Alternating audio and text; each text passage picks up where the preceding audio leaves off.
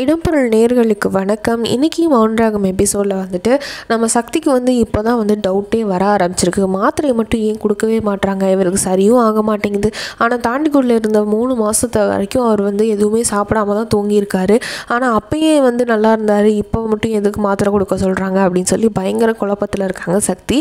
இதெல்லாம் விட பயங்கர குழப்பமாக நம்ம காதம்பரி நாளைக்கு எபிசோடில் ரிலீஸ் ஆகி வெளியில் வர போகிறாங்க வந்ததுமே வந்துட்டு எல்லாருக்கும் பயங்கர ஷாக்காக இருப்போம். முக்கியமாக நம்ம அருண் வந்துட்டு அதை எப்படி சக்தியை கொலை வந்த கொலை பண்ண வந்தவன் வந்துட்டு கார்த்திக் கிட்ட வந்து தொழில் விதயமா விஷயமா தான் வந்து ப- தகராறுன்னு சொல்லி வேறு ஏதோ வந்து கட்டுக்கதையெல்லாம் சொல்லியிருக்காங்க.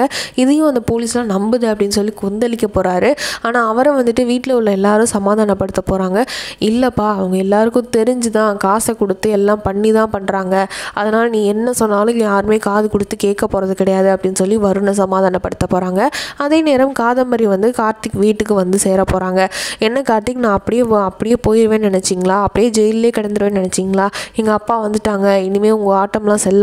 இந்த இந்த மாதிரி நடுவில் வந்தவங்களாம் நடுவிலே போயிடுவாங்க நம்ம வாழ்க்கை நம் நான் மட்டும்தான் உங்கள் வாழ்க்கையில் இருக்கணும் அப்படின்னு சொல்லி பயங்கரமாக டயலாக்லாம் பேச போகிறாங்க மல்லிகா வந்துட்டு என்ன பண்ணுறது நம்ம உடனே இப்போ ஊருக்கே கிளம்பிடலாம் அப்படின்ற மாதிரிலாம் யோசிச்சுட்டு இருக்க போகிறாங்க அந்த பக்கம் சக்தி வந்துட்டு விஷயம் தெரிஞ்ச உடனே இங்கே கார்த்திக் வீட்டுக்கு வர போகிறாங்க ஆக மொத்தம் குடும்பத்தில் எல்லாரும் இருக்கும்போதே கார்த்திக் கார்த்திக் வந்துட்டு அஹ், காதம்பரியை பார்த்து வந்துட்டு நீ ஏன் இங்கே வந்த அப்படின்ற மாதிரி கேட்க போகிறாரு இதெல்லாம் தான் நாளைக்கு எபிசோட் நடக்க போகிறது நீங்கள் நாளைக்கு எபிசோடில் வேறு என்னெல்லாம் நடக்கும்னு எதிர்பார்க்குறீங்க அப்படின்றத கீழே கமெண்ட் பாக்ஸில் சொல்லுங்கள் கூடவே மறக்காமல் சப்ஸ்கிரைபும் பண்ணிடுங்க